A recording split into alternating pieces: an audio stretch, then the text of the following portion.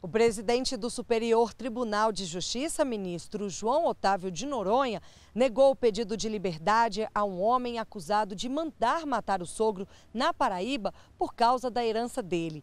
O acusado está preso preventivamente, apontado como mentor intelectual do crime. Ele teria encomendado a morte do sogro em troca de pagamento. A vítima foi assassinada com um tiro no peito por um motociclista quando chegava ao trabalho. Para simular um assalto, o motociclista que já havia matado e saído do local do crime sem levar nada, retornou e pegou a bolsa que a vítima portava.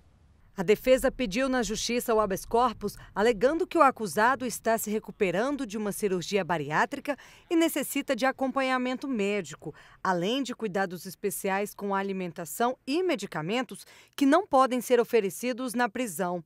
Ao analisar o caso, o presidente do STJ, ministro João Otávio de Noronha, observou que não consta no processo quais são as necessidades pós-cirúrgicas e por que elas não estariam sendo atendidas. Pelo contrário, o que está nos autos é que o magistrado assegurou que o tratamento fosse mantido na prisão. Por isso, negou o pedido.